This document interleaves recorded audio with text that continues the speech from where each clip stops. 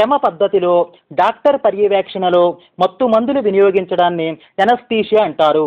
పూర్తి దేహాన్ని గాని దేహములోని ఏదైనా ఒక భాగాన్ని గాని చైతన్యరహితముగా చేయగల పదార్థములే మత్తు మందులు పూర్తి దేహాన్ని అచేతన స్థితిలోనికి తీసుకుని వెళ్ళగల మత్తు మందులను సాధారణ మత్తుమందులనియు జనరల్ అనెస్థెటిక్స్ అనియు ఏదో ఒక భాగాన్ని అచేతన స్థితిలోనికి తీసుకుని వెళ్ళగల వానిని స్థానిక మత్తుమందులనియు లోకల్ అనెస్థెటిక్స్ అనియు అంటారు.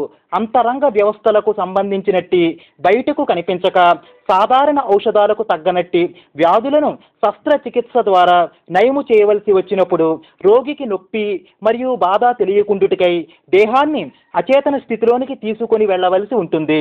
ఇట్టి సమయాల్లో మత్తు మందుల వినియోగం జరుగుతుంది. దంత చికిత్సలోను ఎముకలు విరిగినప్పుడు స్థానికముగా ఆయా ప్రాంతములను అచేతన స్థితికి తీసుకువెళ్ళడం జరుగుతుంది.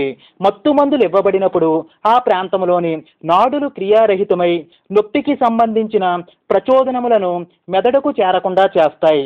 ప్రారంభంలో దక్షిణ అమెరికా దేశీయులు కోకో పత్రములను బాధ నివారణ కొరకు వాడిడివారు. పద్దెనిమిది వందల సంవత్సరంలో సర్ హంప్రే మొదటిసారిగా నైట్రస్ ఆక్సైడ్ను బాధ నివారణ కొరకు వినియోగించడం జరిగింది. పద్దెనిమిది వందల నలభై రెండులో ఈథర్ మత్తు మందుగా వాడబడినది. పద్దెనిమిది వందల నలభై ఏడులో క్లోరోఫామ్ను మత్తు మందుగా జేమ్స్ సిమ్సన్ వినియోగించినాడు.